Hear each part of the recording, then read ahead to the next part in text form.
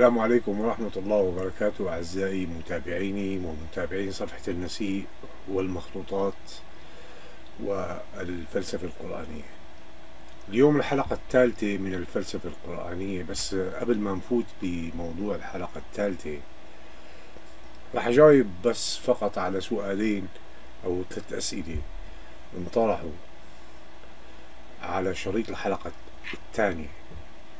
السؤال الأول كان عم بيقول إنه إبليس ليس من الملائكة بل هو من الجن. عزيزي الكريم الخطاب الذي أتى بأمر من الله للملائكة بالسجود لآدم لم يكن خطابين خطاب موجه للملائكة وخطاب موجه لإبليس بل هو خطاب واحد يشمل جميع الملائكة. والملائكة كما قلنا في الحلقة الماضية هم سبع طرائق في الخلق.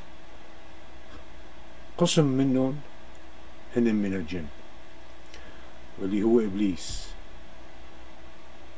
ولا لو كان الخطاب لم يشمله ما كان قوله آه، بأن بأنه أفضل من الإنسان الذي خلقه من طين لأنه خلقه من نار. فلذلك رفض السجود له. بل قال أنت تخاطب الملائكة وأنت خلقتهم من نور وخلقتني من نار. هاي النقطة الأولى. النقطة الثانية جميع الملائكة عندهم منهم الإرادة والمشيئة بأن يرفضوا أمر الله أو يقبلوا أمر الله. فعندما أمرهم الله بالسجود لآدم لم ينفذوا الملائكة ذلك الأمر مجبرين بل طائعين. وسجود الملائكة للإنسان في عنا الشهيدين وفي عنا السائق وفي عنا الحارس وفي عنا الذي ينفخ في الصور وفي عنا جنود الله الذي لا يعلم عددهم إلا الله والذي يؤيد آه، المؤمنين به والصادقون والمتقون بجنود لا ترونها. كما فعل في العديد من المعارك التي حدثت آه، أثناء الدعوة المحمدية حيث أنه بحنين آزر نبيه ورسوله ومجموعة المؤمنين من أن يخسروا تلك المعركة فدعمهم بأعداد كبيرة من الملائكة وجنود الله فانتصروا. واللي بيخبروك انه اللي بيخبروكم انه إنه أبو سفيان هو اللي نصر المسلمين بتلك المعركة المعركة. هذا الكلام غير صحيح بل إنه هذا الكلام محرف حتى محرف التاريخ. لأن فتح مكة لم تحدث في سنة ثمانية وإنما في سنة عشرة وذلك تحريف أيضا تحريف آخر للوقائع وأن أبو سفيان في معركة حنين لم يدخل إلى الإسلام بعد ولأنه دخل في سنة عشرة إلى الإسلام ودخل مجبرا وليس دخل لأنه آمن بالرسالة. لا وجد مكة تفتح. فاستسلم. يعني رفع راية بيضة وحطها على على باب بيته. آه بالنسبة للسؤال الثاني ما الفرق بين النفس والروح؟ الروح مخلوق من مخلوقات الله والنفس مخلوق آخر من مخلوقات الله. الإنسان فيه نفخة الروح وليس فيه روح. الروح هو مثل الروح جبريل ميكال. وفي ناس بيقولوا كمان إنه في واحد اسمه إسرافيل وهو اللي بده ينفخ الصور ولكن هذا الاسم إسرافيل غير موجود في النص القرآني نهائيا ولكنه موجود في التوراة. هذا لا يعني إنه إنه هذا الاسم آه، لا نأخذ به أو نأخذ به. لا. لا نعيره أي اعتبار. لأنه تأليف من تأليفات الاسرائيليات أعزائي الكرام الروح مخلوق. حتى عندما تمثل إلى سيدنا مريم يقول الله في الكتاب في كتابه العزيز فتمثل لها روحنا بشرا سويا. شو قال لها؟ قال لي إن إني رسول ربك. أنا رسول جاي رسول أنا. حتى إن الروح القدس المذكور في النص القرآني هو مخلوق وهو الروح الذي أيد أيد نبيه عيسى به حيث قال وأيدناه بروح القدس. فالروح هي مخلوق من مخلوقات الله موجودة في عالم الأمر يلقي الله الأمر عليهم فينزلوا إلى عالم الأشياء لينفذوا ما أمرهم به الله في تفعيل قدرة الله. لأن السنن موجودة في القضاء والإرادة تسبق القضاء ثم التفعيل. يعني مثلا الآن نحن قرأنا بالحلقة الماضية أن الله خلق الكون في ستة أيام. يومين استغرقوا للقضاء ولكن إذا أراد أن يعيد الله عز وجل إعادة خلق هذا الكون مرة أخرى فإنه لا يحتاج لتلك اليومين يومين القضاء وإنما إرادة وتفعيل. فإذا أراد شيئا قال له كن فيكون لأن القضاء موجود مسبقا. ولكن إذا كان القضاء غير موجود فبعد الإرادة يأتي القضاء اللي هو تفعيل السنن الجديدة من أجل خلق الشيء الجديد ثم يتم الخلق. آخر سؤال آه، من من من أحد الإخوان عم بيقول إنه الصوت الصوت والصورة على الفيديوهات اللي عم أقدمهم آه، حاليا آه، غير واضحين وفيهم تشويش للأسف. التكنولوجيا اللي عندي مني أنا هون يعني من أرخص أنواع التكنولوجيا والكاميرا من من أرخص أنواع الكاميرات. ليش؟ لأنه ما عندهم مني أنا شركة إخراج ومنتجين ومخرجين وسيناريست و و و و وكل هذه الأشياء. أنا أقوم بكل شيء. اعتبروني مخرج فاشل يا جماعة يا جماعة ولكنني أقدم لكم علم. إذا حبيتوا تدعموني تبعتوا لي كاميرا جديدة تبعتوا لي شغلة جديدة ممكن حسن فيها تلك المواضيع على عيني وراسي. هذا شيء جميل. إذا أنتم طلبتوا مني إنه إنه, إنه, إنه أساوي شيء ولكن ليس باستطاعتي. ليس باستطاعتي. يعني أنا رجل متقاعد. يعني ما ما عندهم مني عمل يومي أقوم به وما عندهم مني دخل لهذه الأشياء اللي عم أقدم لكم إياها. عم أقدم لكم إياها من وقتي ومن مجهودي وما عم بطلب منكم يعني. أنا لا أطلب منكم إنه والله أنتم مثلا آه، تدعموني ماليا أو كذا. دعموني فقط بالشير. فقط اعملوا share لل... للفيديوهات تبعي.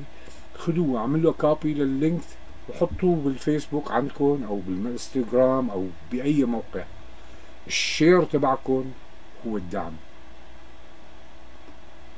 أنا عم حاول وصل الفكرة. هي بالنسبة للمواضيع الأسئلة الثلاثة اللي انطرحوا بالحلقة الماضية. بالنسبة لليوم حلقة اليوم واستكمالا لما قلناه في الحلقات السابقة مثل الحلقة الأولى ببدء الخلق والحلقة الثانية تناقشنا فيها في في مواضيع آلية التفكير الإنساني. اليوم بدنا نحكي عن الهيكل الكامل للإنسان. مثل ما لكم شايفين هون بهي الصورة هي الصورة بتشرح أن الإنسان في حواليه هالة وهذه الهالة ضمنها يوجد جميع مكونات الإنسان من نفس وفؤاد وجسد وسوف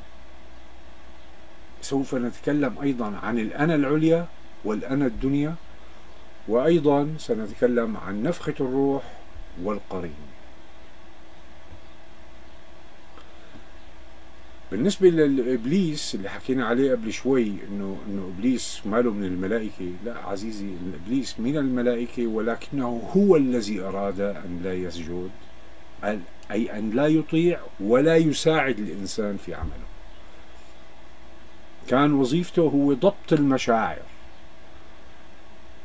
يعني من المشاعر الخوف فهو بخوفنا. من المشاعر الشهوات هو بيزيد الشهوات. من المشاعر الحزن.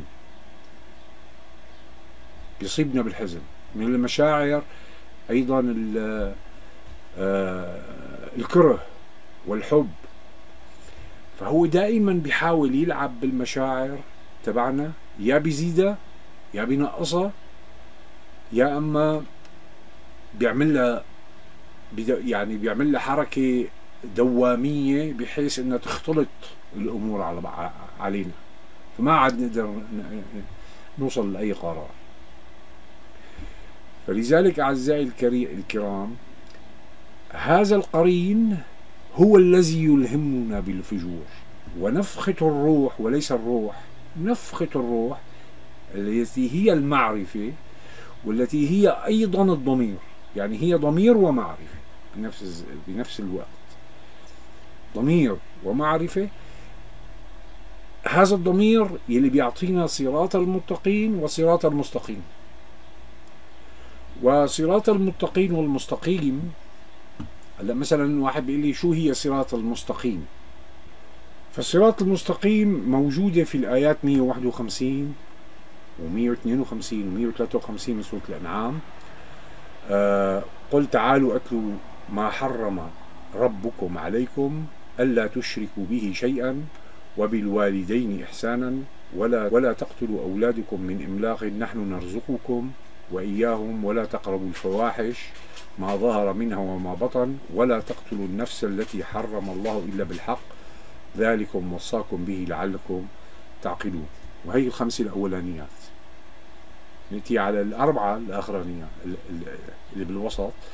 ولا تقربوا مال اليتيم بال إلا بالتي هي أحسن حتى يبلغ أشده ووفوا الكيل والميزان بالقسط.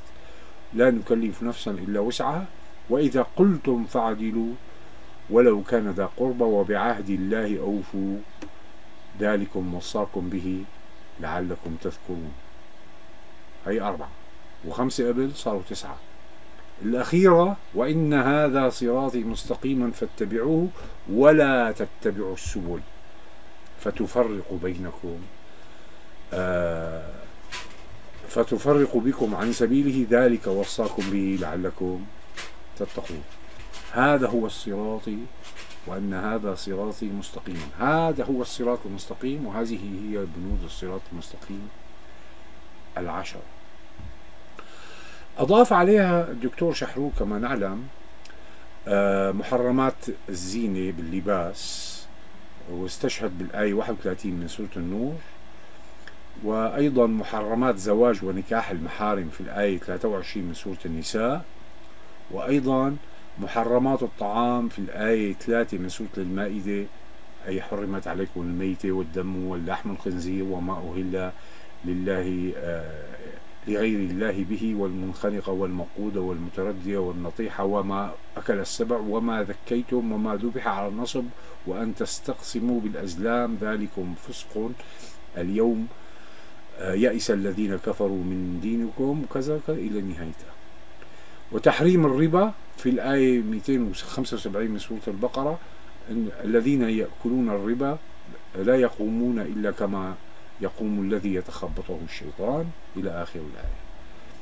ولكن غض النظر الدكتور شحرور عن خمس أشياء أخرى. وقال إنه المحرمات 14 لا عزيزي المحرمات مو 14 وإنما 19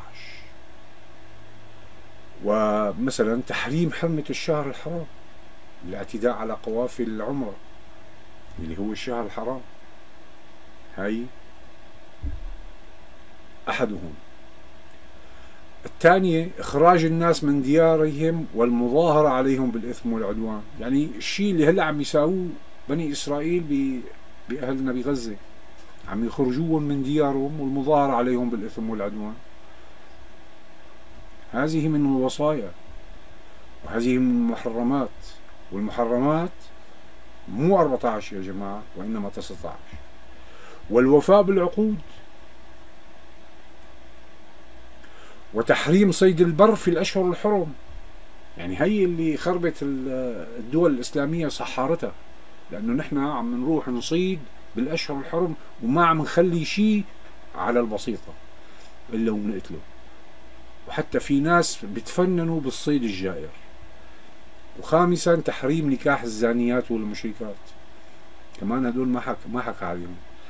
أما صراط المستقيم اللي حكينا عليه هناك صراط آخر للمتقين.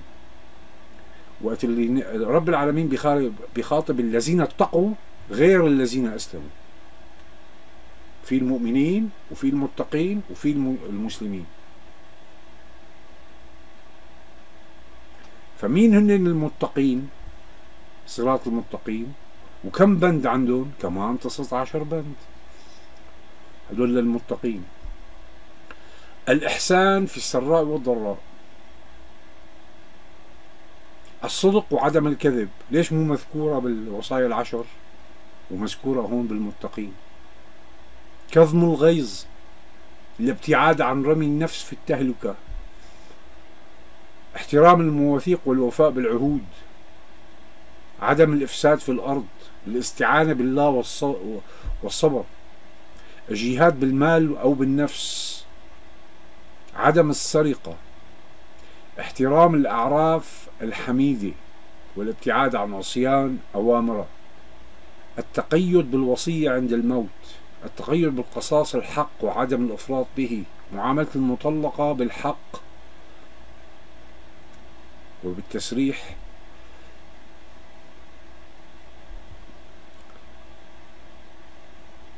وطلب المغفرة الإلهية من الذنوب. توزيع الأضحية لوجه الله والامتناع عن المن والمراءات. منع الماعون كما جاء في سورة الماعون. أي كل ما فيه خير لأن يصل إلى أصحابه. القتال دفاع عن النفس وعدم الاعتداء.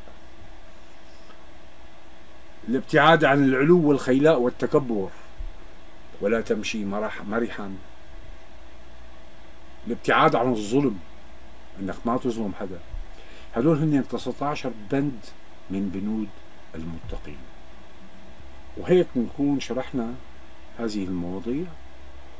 وأنا حابب أحكي عن ميتافيزيقية الإنسان. الميتافيزيقية الإنسان هي النفس ميتافيزيقية ما بنقدر نشوفها مثل مثل الملائكة مثل مثل الروح. النفس مثل ما قلنا هي مخلوق ميتافيزيقي موجود في في في هالة الإنسان. وأيضا نفخة الروح موجودة في هالة الإنسان وأيضا القرين موجود في هالة الإنسان اللي هو واحد من الملائكة مثله مثل الشاهدين مثله مثل السائق والشهيد. الملائكة مأمورة بمساعدة الإنسان وبعمله ضمن هالة الإنسان. إلى عمل خاص مثل الساهر أو أو, أو بنقدر نسميه الساهر أو بنقدر نسميه الحارس. اللي بيحرس النفس وقت اللي بتطلع أثناء النوم.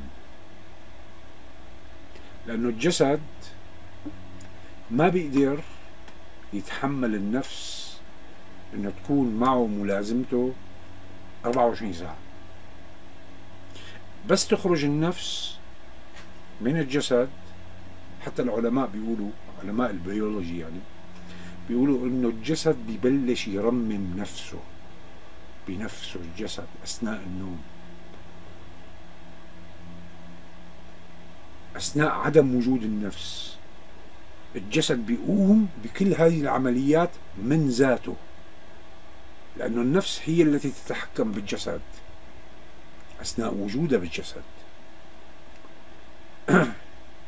هلأ الجسد بيقول للنفس بيلهمها إنه هو جوعان إنه هو عطشان إنه هو تعبان إنه هو يعني عضلاته عضلوا. لإفراز اللاكتيك أسيد جوات الجسم. يعني واحد ما بيعمل رياضة آه، فز يوم من الأيام قال أنا والله بدي اليوم جرب أعمل لي شوية رياضة. آه عمل شوية رياضة بعد شوي بعد ساعة قعد شوي هيك ما حس على حاله إلا عضلاته كلياتها معضلة. شو صاير معه؟ هذا ال lactic acid فرز. أنت ما عم تحرك العضلات. وقت اللي بتحرك العضلة. كانت نايمة فترة طويلة. ال lactic acid بيطلع. بتعضل العضلة. بصير في عندك ألم. وهذا الألم ما بيروح لثلاث أيام. وبعد ما بيروح بعد ثلاث أيام بدك تواظب على ممارسة الرياضة وإلا بيرجع العضلة وبتنام من أول وجديد. إذا بترجع بتفعلها بعد شهر كمان بيوجعك. العضلة بتوجعك بعد شهر. نفس الشيء. فإذا الجسد يلهم النفس بالتعب بالوجع بال... وفي عنا الأنا العليا والأنا الدنيا. الأنا العليا هي الأنا التي تستطيع النفس أن تتحكم بها بتحريك الجسد. يعني الأنا العليا هي اللي بتأمر الجسد بالمشي. ولكن توكل الأنا الدنيا عملية استمرارية المشي. وبيكون الشخص عم عم يقرأ تليفون شغلي على تليفونه وهو عم يمشي. ليش؟ لأنه أمر المشي إجا من الأنا العليا ووكل للأنا الدنيا. هلأ إذا في جورة وهو عم عم يقرأ بالتليفون تبعه في جورة قدام منه ما شافها قام وقع بالجورة ليش وقع بالجورة؟ لأنه أنا عاطي أمر بالمشي. وعيوني عم حطهم على التليفون ما عم حطهم على الطريق لحتى أشوف الجورة. فما شفت الجورة. انت وقعت هلأ مثلا كمان يعني مثال آخر. إذا أنت مثلا آه، حدا عم يزت لك شغلة من الطابق السابع وانت تحت جنب جنب المسبح.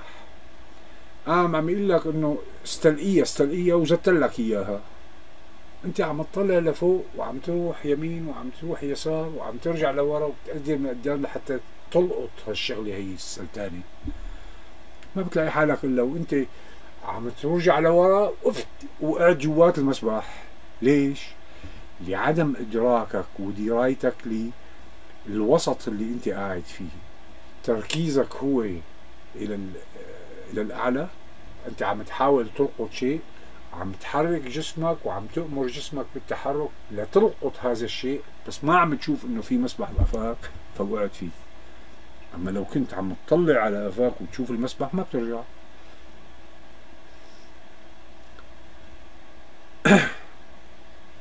ومثال آخر كمان. لعدم الدراية بالوسط اللي أنت قاعد فيه. أمثلة كثيرة. يعني ممكن أنت تكون ماشي بالشارع ما بتلاقي إلا حالك تفركشت بشغلة صغيرة ووقعت وانكسرت رجلك. عدم درايتك بهي الشغلة الصغيرة اللي فركشتك هو عدم دراية بالمحيط تبعك. فإذا يجب استخدام السمع والبصر لحتى تقدر تتحكم بجسدك و... وتمشيه لقدام ترجعه لورا إلى اليمين إلى اليسار من دون ما يصير معك حادث. آه بالنسبة لل أنا الدنيا الجسد بيستخدمها يعني بدك تقولي تسعين بالمية بيعملوا الجسد.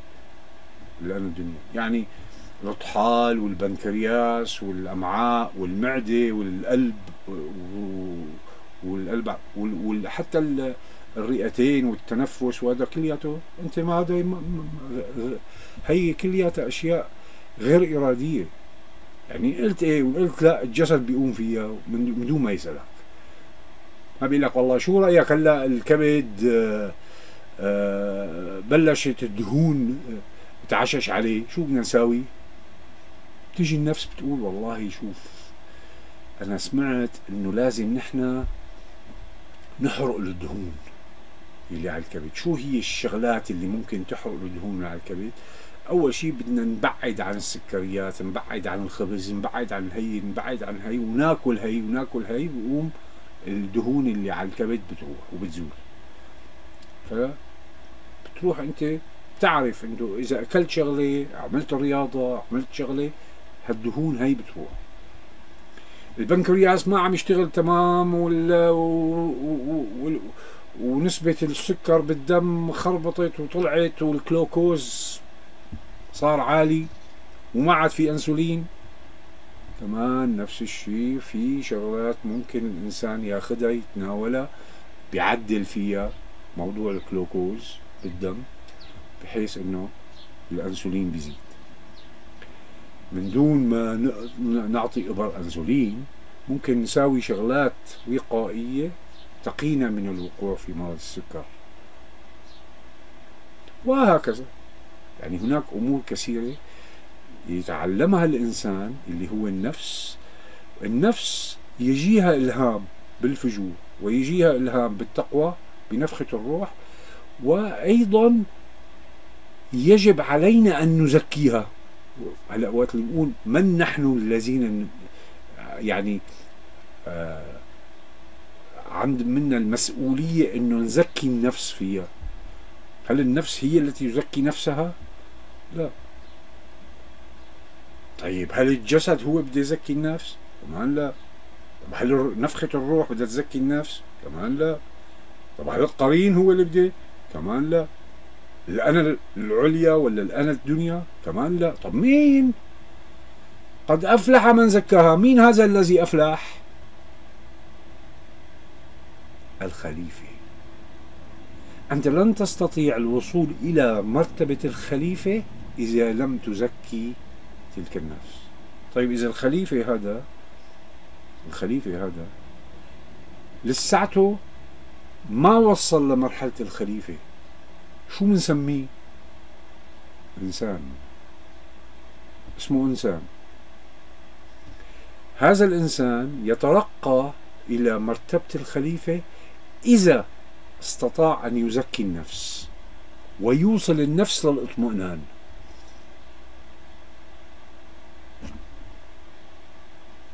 فرب العالمين شو يا أيتها النفس المطمئنة ارجعي إلى ربك راضية مرضية وإن لم تصل النفس إلى الإطمئنان لن تصل إلى الفوز. ولن يصل الإنسان إلى مرتبة الخليفة. يعني الإنسان موجود. ولكن هل الإنسان جاهز لأن يصبح في مرتبة الخليفة؟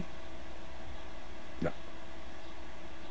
بدك تشتغل عليها وتزكيها وتوصلها للاطمئنان للنفس لحتى تقدر تصير خليفة. شو هي الأمانة؟ الأمانة هي النفس. هي النفس أمانة للإنسان. الإنسان عبارة عن جسد فيه نفخة روح وفيه قرين وفيه أنا عليا وأنا دنيا وفيه جسد. إيه. بس هذا كل هاد استلم أمانة هي النفس. شو قال له رب العالمين؟